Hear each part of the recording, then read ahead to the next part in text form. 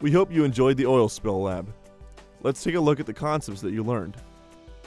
You now know that major environmental changes can affect plants and animals drastically. Let's see how oil spills affect wildlife. First off, an oil spill is the release of liquid petroleum into the environment, especially into marine areas, as a form of human error or pollution.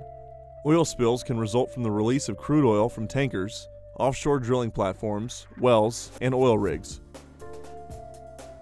The reason that oil spills are so bad for the environment is because the oil harms so many animals and plants. In an area that has been devastated by an oil spill, it's very difficult for life to survive. The oil creates a blanket across the surface of the water, making it impossible for underwater plants to get sunlight. It also makes it very difficult for marine mammals to surface for air and birds to land and swim. If a bird gets oil in its wings, it can't fly. The oil is too thick and heavy and completely inhibits flight. Fish think the oil looks like food on the surface and end up consuming it and dying.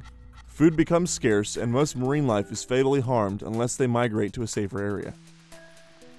If you remember back in April of 2010, there was a massive oil spill off the coast of Louisiana in the Gulf of Mexico.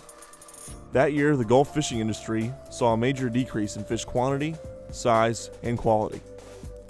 Oil spills can take anywhere from days to months to clean up.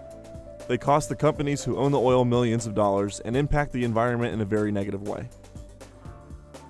Thanks for watching. We hope this video has helped you realize that major environmental changes can affect plants and animals drastically.